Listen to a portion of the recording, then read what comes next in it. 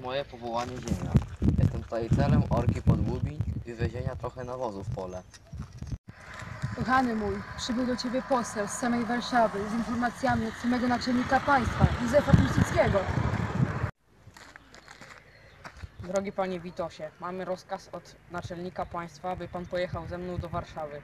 Tam też jest pan bardzo potrzebny.